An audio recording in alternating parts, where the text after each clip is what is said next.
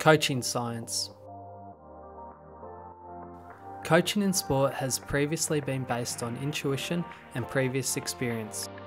However, recently there has been a shift towards evidence based practice known as coaching science. Coaching science can be defined as using scientific principles to design the optimal training session for athletes. These principles come from research into subfields of sports science, including skill acquisition and motor learning.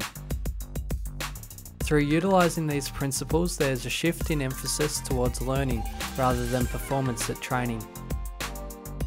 The implementation of these principles at training improves retention of skills, meaning that the improvement in skills is retained by athletes for longer following training. Coaching science is focused on designing training to optimise transfer of motor skills to competition. This is important as athletes train to perform well at competition, not to look good at training. Research into coaching science has helped answer questions such as how much feedback should I give the athletes? And how should I most effectively instruct my athletes?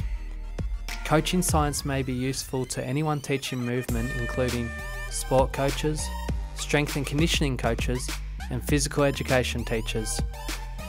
Stay tuned for future Sport Science Collective videos which will explain key skill acquisition principles and how they can be implemented in coaching. Thanks for watching.